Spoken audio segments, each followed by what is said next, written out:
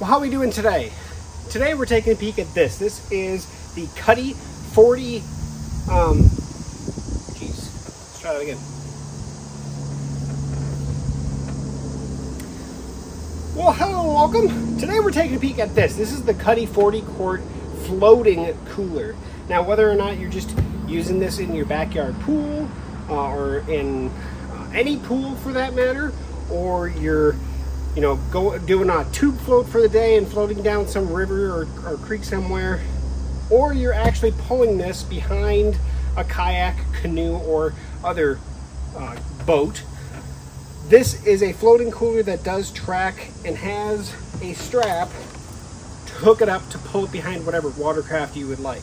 Now today, I actually got through using it as a towable for the first time. I've actually used it in my backyard pool before, um, but today was more about uh, towing behind my kayak, which uh, we did on the Mississippi River. So uh, backwaters, so not out in the channel, but um, still a little bit of choppiness. So probably actually not the most optimal place to do it, but it kind of showed off one of the things that you definitely want to do. So let's uh, let's dive in.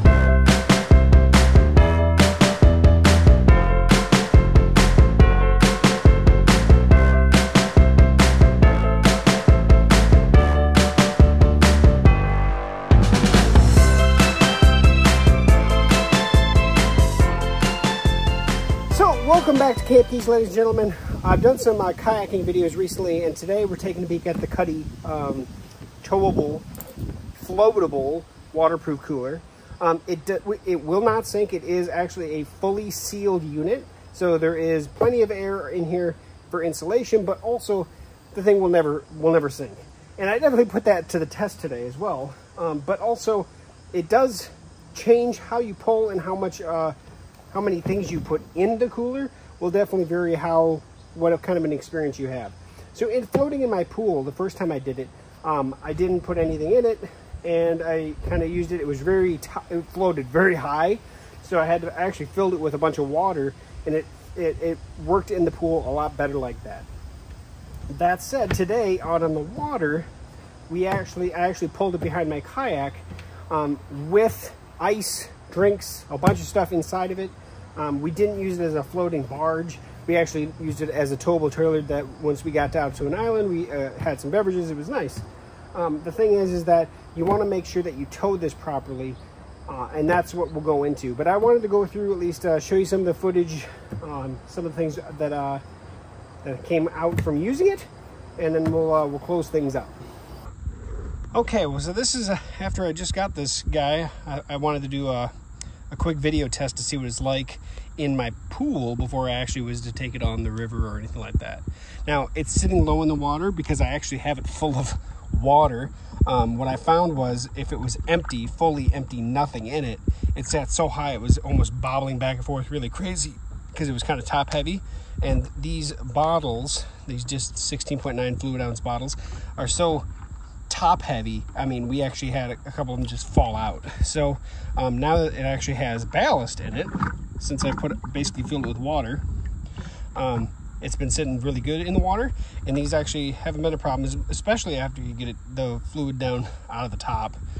No problem at all anymore. But obviously, it's designed for cans and koozies, uh, including like the, the Yeti koozie. So I definitely want to try it with that. But so far, we actually we spent the last half hour, 45 minutes in our pool. Excuse me.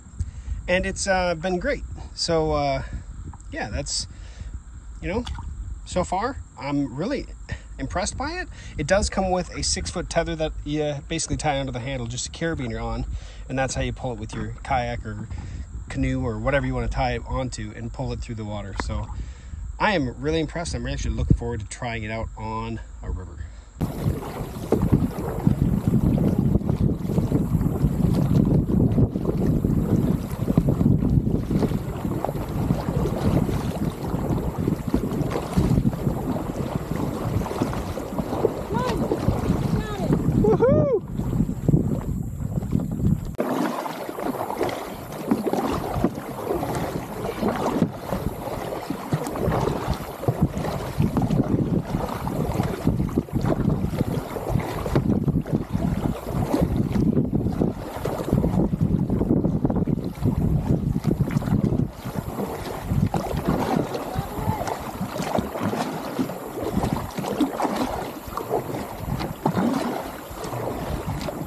So, stick my pole.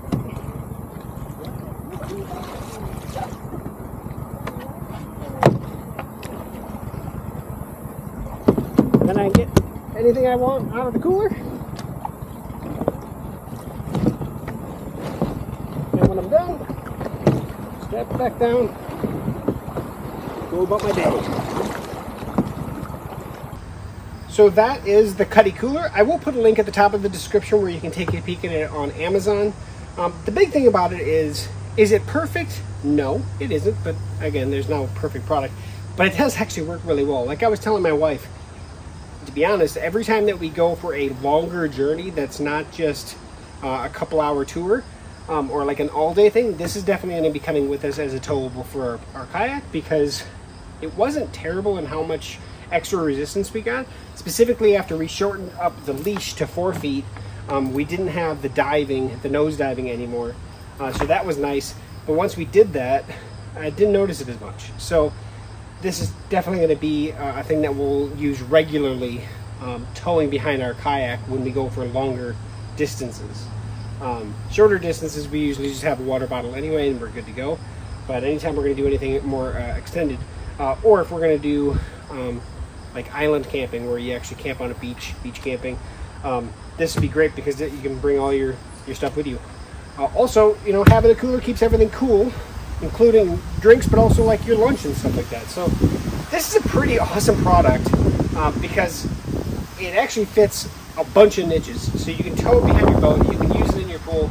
The big thing, like I was telling my, my, my friend, was uh, tube floating has been a very popular thing lately. This is the perfect cooler for tube floats. You know, rather than getting another tube and putting your cooler in it or, you know, whatever. This is designed for that. It's not going to flip over on you, well, unless you uh, tow it really far behind your kayak and get it to nosedive into a bunch of waves. Otherwise, it's not going to tip over on you. It's actually pretty sturdy. So that's that. The only other thing I, I will mention is the cup holder design. I wish the cup holders were a little bit deeper, and that's just because not all beverages are some beverages are, are more top heavy. So for instance, like the 16 or 20 ounce or, or, or bigger uh, bottles of, of pop, um, they don't they don't fit real. They're they're skinnier than this, and they're really top heavy. So in water that has any kind of waves at all, they tend to fall over. Um, whereas if you're using cans and cans with koozies, it's kind of designed for the, that. So if you have a you know a Yeti koozie for your 12 ounce can or whatever, it's kind of designed for that. So just last little mentions there. Um, otherwise, if you have any questions or comments, post those below. Uh, check out the link at the top of the description, and we'll catch you back here on Camp Geeks for another future video review. See you soon.